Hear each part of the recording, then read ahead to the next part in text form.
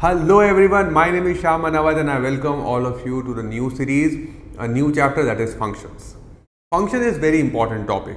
You will find a good frequency of this topic or this uh, questions coming from this chapter in various exams. So let's see what is function. Function works like an operator. You can say like uh, an input output machine. Yeah. Suppose you have uh, this this function so this this here this sign f of x usually usually you will find this as the function in the question okay? f of x you may also get g of x h of x or so on yeah? Now functions you can Consider that as a machine which has an input and it will produce an output. For example, if you have f of x equal to 2x plus 1 that's equal to 2x plus 1 yeah? Now input of the function is this this inside the bracket with f the alphabet. You have inside the bracket a variable that is input yeah so, now here if the input this input is 3 if input that is x here in this case is 3 then what will be the output? This is input and we need to see what should be the output. Now if you substitute x is equal to 3 you will have x is equal to 3 here that will produce 2 into 3 plus 1 what is 2 into 3 plus 1 7 right. What's the output? 7 yeah? Are you understanding this? So function works like an input output machine where the input is the value of variable which you substitute there and the output is the value of function the entire function. Did you understand? Let's try once again. In case if you want to find out what is the value of f of 1 by 3 in this case so you don't have to draw this box in the exam, okay? I'm just making it look visually easy to understand. f of x that is equal to what? 2x plus 1 here. So x again input as per the question or what we want to find out is f of 1 upon 3 that means the input is what x is equal to 1 upon 3. What do you need to do? You need to substitute the value of x as 1 upon 3. It will look like 2 into 1 upon 3 plus 1. Simplify this further. Thus 2 by 3 plus 1 will get you 5 by 3, right? If you simplify this, I hope you know how to simplify the fractions. That will get you 5 by 3.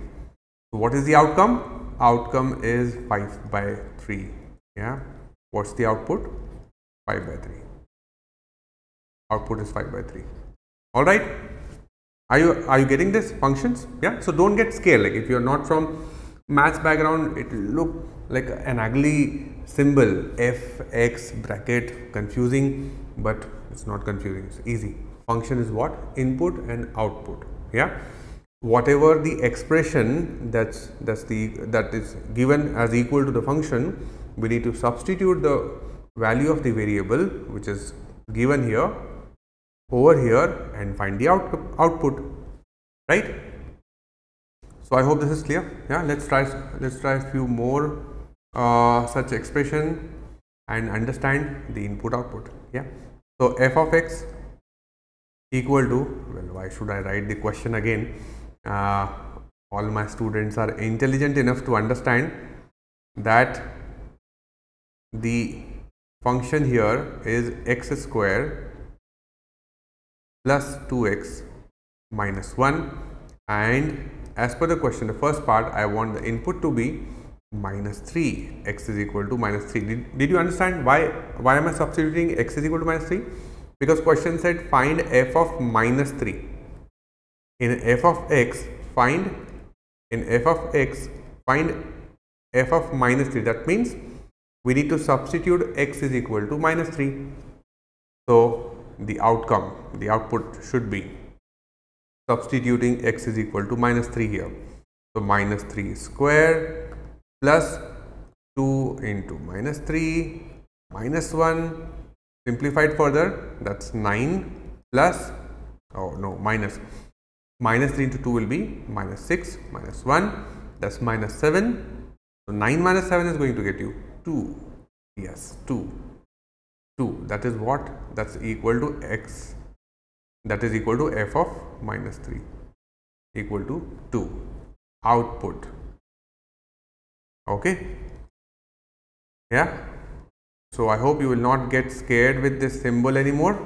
F of x g of x h of x functions which has input and output.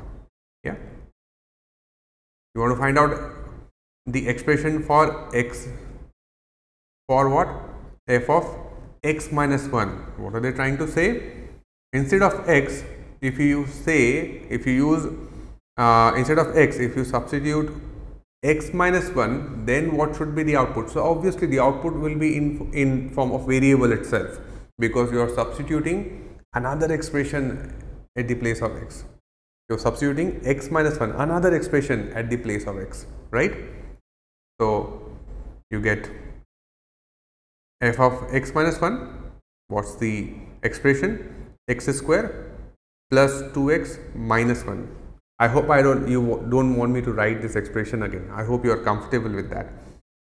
Yes so i have f of x minus 1 that will be x minus 1 square plus 2x minus okay 2x minus 1 minus 1 simplify that further. X minus 1 whole square will be x square minus 2x plus 1 yes. Yeah.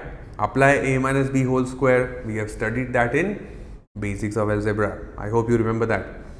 I you know whenever you come to the next uh, video of mine, I assume that you have gone through the previous chapters, previous videos. Okay. So, I will keep on giving the reference of those topics, those concepts. So, uh, it will be a kind of revision for you and for me it will be an assurance that you have gone through the previous chapters so that it will be easy for me to give the show the applications. Yes, simplify this x square here minus 2x open the bracket minus 2x plus 2x gone. Plus 1 minus 1 gone. So what do you have you have only minus 2 that is f of x minus 1 yeah? That's the outcome. That's the output right? Okay? Let's try one more one more. Now this time we got two variables two variables as inputs that's fine that's fine totally fine. Don't worry that's completely fine.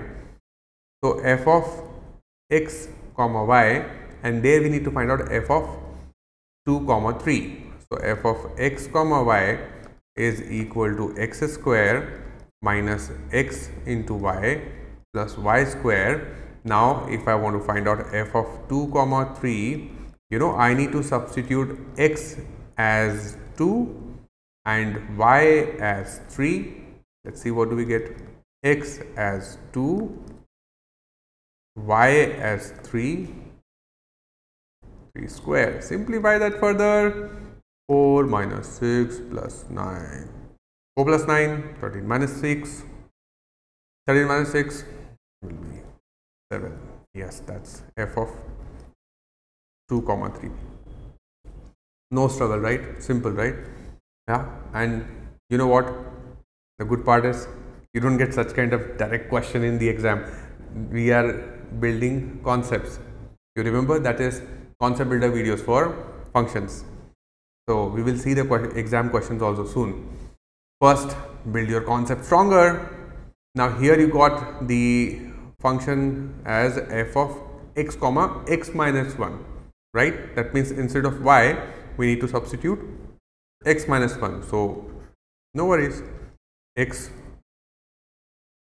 comma x minus 1 yeah here is the expression with us.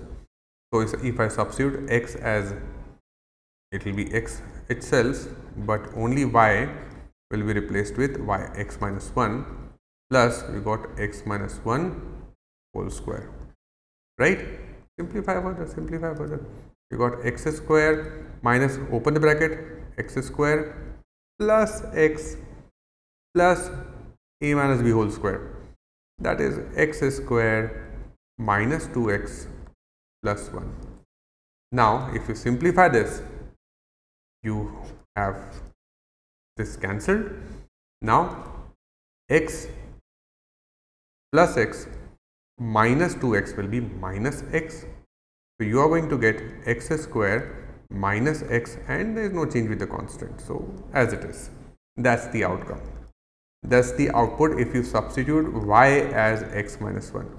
Is that clear? Is that clear? Yeah. Okay. So, treat the function as what? Input output a machine where you have input and then it produces some output.